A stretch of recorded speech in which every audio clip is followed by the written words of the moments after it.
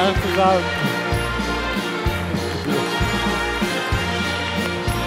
Bis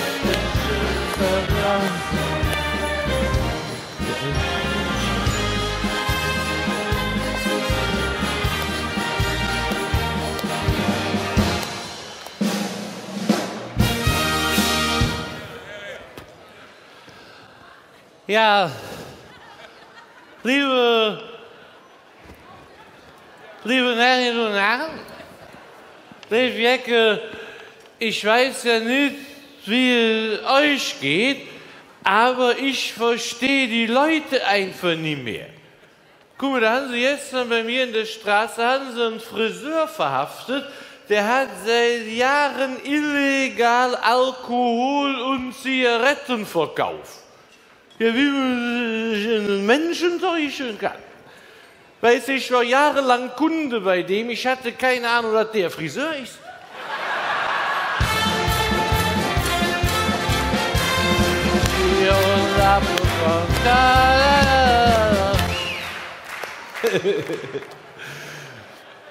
Anderes Beispiel.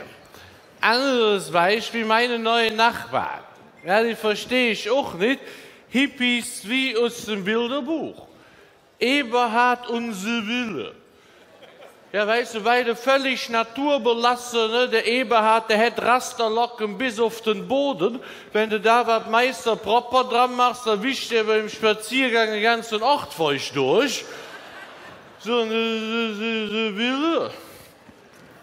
Die hat so viele Haare unter den Armen. Ne? Ja, das sieht so aus, als hätte sie Wolfgang Thierse und Bob Marley im Schwitzkasten.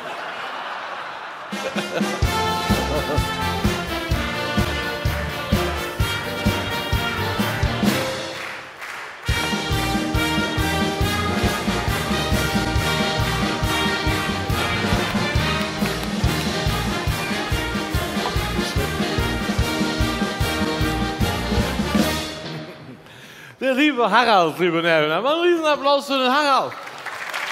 Für den Harald. Liebe Harald. Macht euch keine Sorgen, der kommt gleich wieder. Liebe Nerven und Herren. Nein, also wie gesagt, liebe Nerven, das sind eben, das sind wie man. Ja, ihr müsst schon zuhören. Nein, wie gesagt, sind Hippies, wie man sie sich vorstellt. Und die sind ja auch nicht alleine. Weißt du, sechs Kinder haben sie schon, Nummer sieben ist unterwegs. Ich sag, was wird denn, Junge oder Mädchen? Da sagt die Sibylle, das soll es später selber entscheiden.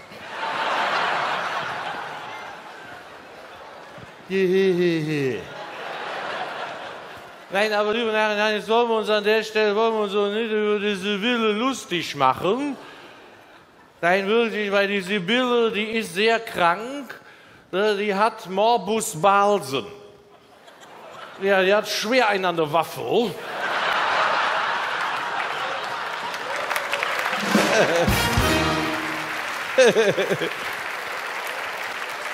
Weil ich sagen wollte, Eberhard und die Sibylle, die erziehen wirklich alle ihre Kinder genderneutral. Das heißt, sie können später weder kochen noch einen Wasserhahn reparieren. so, und die lieben Herren und Herren, die erziehen ihre Tiere sogar auch noch nahrungsneutral. Ja, der Golden Retriever hat jeden Mittwoch Veggie Day. Ja, da hätte der arme Kerl Rucola mit gerösteten Pinienkernen im Napf. Nein, ich sage euch, wenn es mit den Veganern so weitergeht, da sehe ich mich demnächst schon mit meiner Bratwurst bei den Rauchern draußen am Balkon stehen.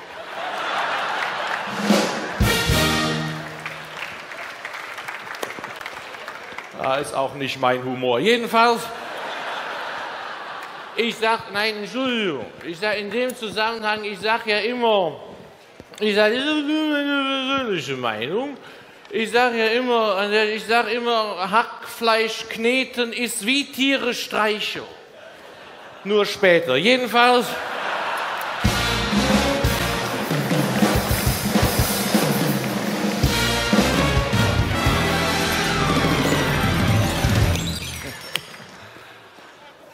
sehr, sehr guter Witz. Jedenfalls.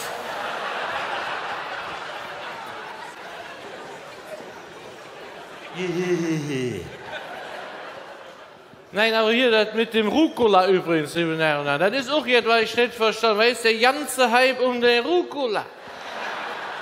So und so, ja, in den Bars wirst du mittlerweile mit Rucola zugeschüttet. Nein, ich habe letztens am eigenen Leib gespürt, wie man mich arglistig in die Rucola-Falle reingelockt hat. Ja, ich habe nämlich aus Versehen ein Rucola-Smoothie bestellt. Ja, aber ich Trottel, ich habe nicht Rucola gelesen, sondern Rumcola.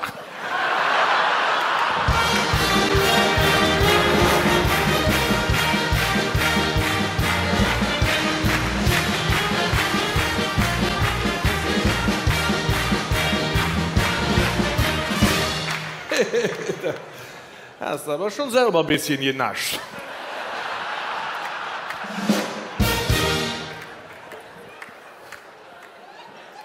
Muss noch viel lernen. Liebe, hier wird gleich ein Job frei. Jedenfalls. Nein, liebe Damen und Herren, zieht sich aber heute. Jedenfalls. Nein, aber ich frage, was ist einmal aus unserer Welt geworden? Es wird doch alles immer teurer. Ne, Wohnen zum Beispiel, um Gottes Willen, wie willst du das als Normalverdiener in der Stadt denn noch bezahlen? Guck mal, ein Freund von mir hier in Köln, der schießt mittlerweile regelmäßig aus seinem Fenster, damit die Mieten in seinem Viertel einigermaßen stabil bleiben.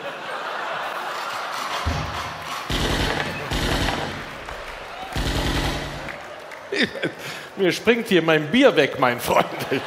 Ich mache viel Blödsinn mit.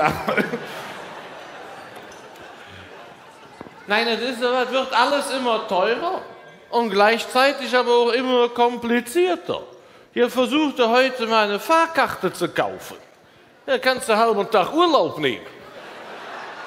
Weißt du, früher, da hast du die Karte hast du am Schalter gekauft, so im Zug kam der Schaffner, der hat die Karte mit seiner Zange aufgeknipst.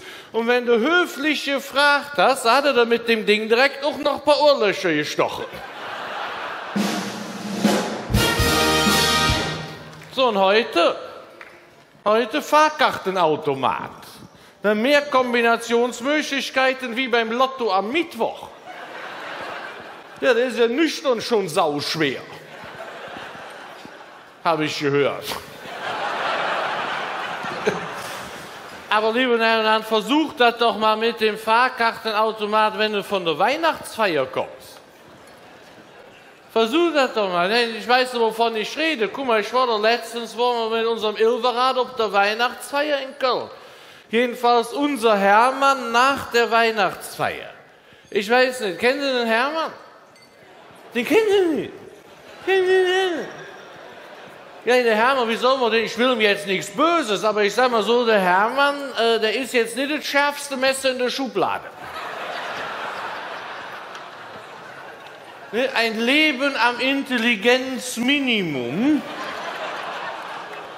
Nein, ihr müsst euch das mal vorstellen. Der Hermann, der stand letzten Vatertag, stand der sturzbesoffen am Yachtenzaun und hat versucht, mit einem Grasbüschel einen Mähroboter anzulocken.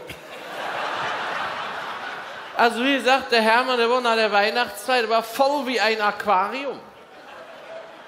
Ja, der hat sich da vielleicht die Fliesen verfucht mit der Spezialität des Hauses. Schleebuscher Schädelsprenger. Den kennt ihr den? Den auch, kennt ihr auch nicht. Schleebuscher Schädelsprenger. Pass auf, du nimmst ein leeres Weizenglas. Da tust du einen Rollmops rein. So, das wird dann aufgegossen mit Stroh rum. Doppelwacholder Absinth, Tabasco und zwei Esslöffel Terpentin. Ja, dann musst du 20 Sekunden warten, bis sich der Rollmops aufgelöst hat. Und dann kütt obendrauf ein brennender China-Böller. Ja, da darfst du beim Trinken nicht trödeln.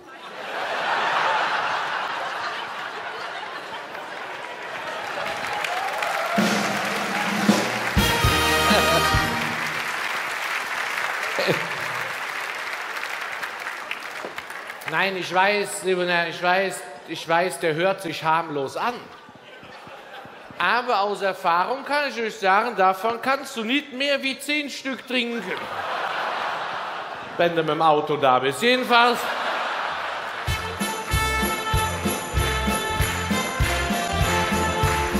Was?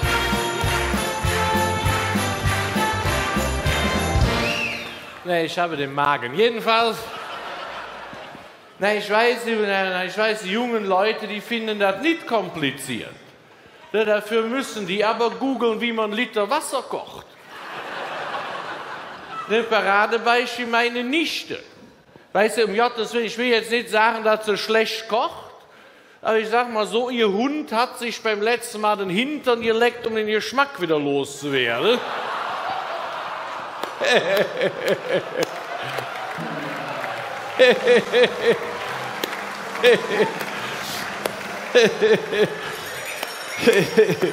ganz, ganz feines Florett. Jedenfalls.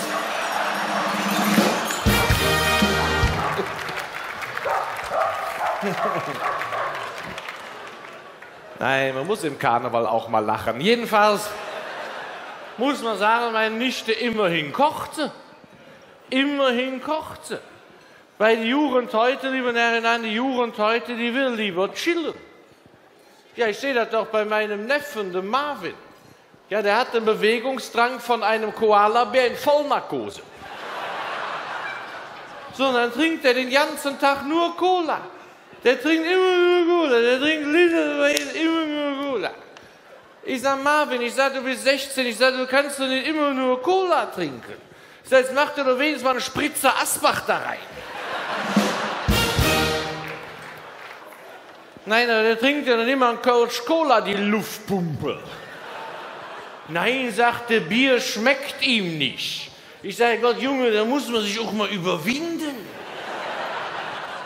Ja, meinst du etwa, mir hätte das erste Bier damals geschmeckt? Anderes Thema. Jedenfalls. Es war eine andere Erziehung, liebe Herren. Du musst doch nicht meinen, mit 16, dass ich da vom Tisch aufstehen durfte, bevor ich mein Bier nicht leer hatte. Nein, da hat mein Vater bei uns aber keinen Spaß verstanden. Der hat immer gesagt, solange du die Füße unter... Solange entscheide immer nur ich, was beim Frühstück getrunken wird.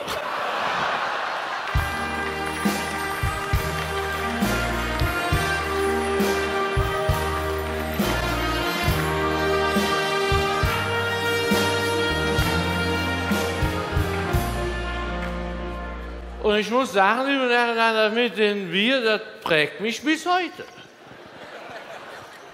Immer wenn ich ein Bier vor mir sehe, dann höre ich zwei Stimmen in mir. Die eine sagt, trinken Gott. Und die andere sagt, hast du nicht gehört, du sollst trinken.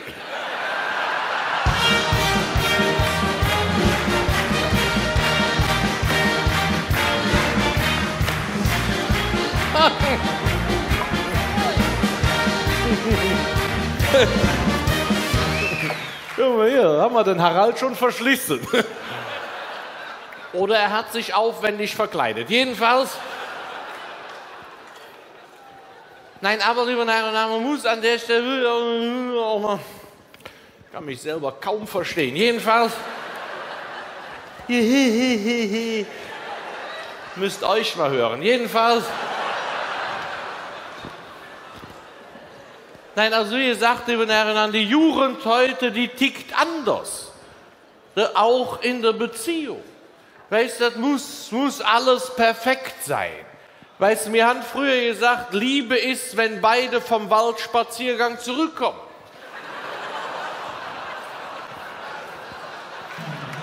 Ja, den habe ich auch erst am Hinweg verstanden.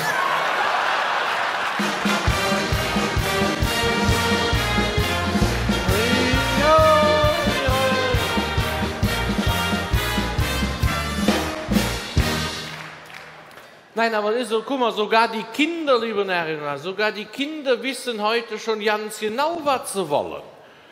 Ich hatte letztens ja mitgekriegt, da war ich in der Zoohandlung. Wo ich in der Zoohandlung, da war ich mitgekriegt, wie da ein kleines Mädchen ein Kaninchen kaufen wollte. So, und da fragt der Zoohändler, willst du lieber das kleine Braune mit den niedlichen Knopfaugen oder lieber das flauschige Weiße mit den süßen Schlappöhrchen? Da sagt das Mädchen, das ist meiner Python völlig egal.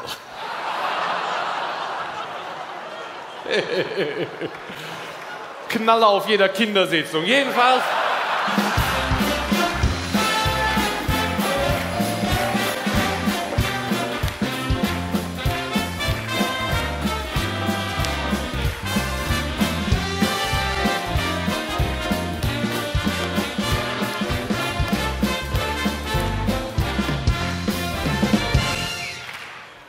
Jedenfalls in dem Zusammenhang zum Schluss noch eine kleine Anekdote, liebe Herren. Zum Schluss kleine Anekdote. Auf dem Weg zur Zoohandlung, da habe ich unterwegs habe ich auch einen Anhalter mitgenommen. So, und da fragt mich der Spaßvogel nach ein paar Minuten, ob ich denn keine Angst hätte, dass er ein Serienmörder sein könnte. Ich sage, pass auf, Sportsfreund. Ich sage, die statistische Wahrscheinlichkeit ist verdammt gering, dass zwei Serienmörder im selben Auto sind. In diesem Sinne, Allah zusammen.